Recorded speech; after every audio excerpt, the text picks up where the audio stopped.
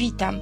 W dzisiejszym filmie chcę Was zaprosić na przepyszne domowe powidła śliwkowe z dodatkiem czekolady oraz kakao. Znane są one jako czekośliwka albo nawet niektórzy nazywają śliwkową nutellą. E, Świetnie nadają się do chleba, nadają się do naleśników, bułeczek, ciasteczek. Bardzo gorąco polecam, są przepyszne. Warto sobie zrobić parę słoiczków na zimę. Oto lista składników potrzebnych do przygotowania powideł. Na początek śliwki myjemy. Chcę tutaj wspomnieć, że 2 kg śliwek to jest ich waga z pestkami.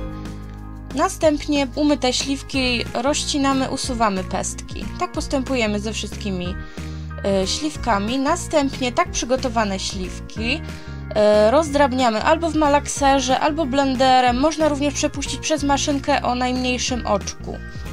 Tak, żeby nam powstała masa. Tak postępujemy z y, całymi śliwkami.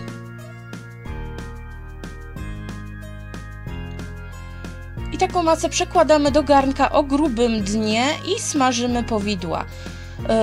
Yy, wszystko, czas smażenia zależy od yy, ilości soku w śliwkach. Jeżeli mają bardzo dużo wody w sobie soku, no to trzeba smażyć trochę dłużej. Ja smażyłam około 2 godzin.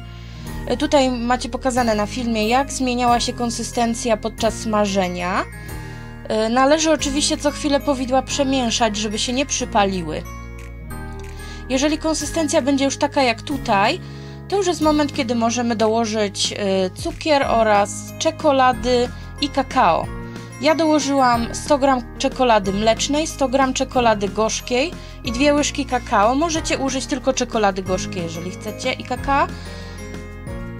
Wszystko mieszamy do rozpuszczenia się czekolad i uzyskania gładkiej masy i jeszcze smażymy jakieś 15 minut od tej pory. Gorące powidła przekładamy do wysuszonych i umytych słoików i szczelnie je zamykamy.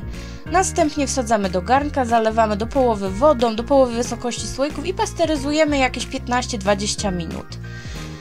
I gotowe.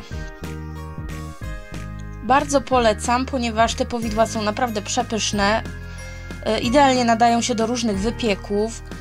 Jak widać są bardzo ładnie wysmażone, mają bardzo fajną smarowną konsystencję, wszystkim bardzo smakowały, idealnie nadają się do naleśników, yy, bułeczek, różnych rogalików, dlatego bardzo gorąco polecam do przygotować sobie kilka słoiczków na zbliżającą się zimę.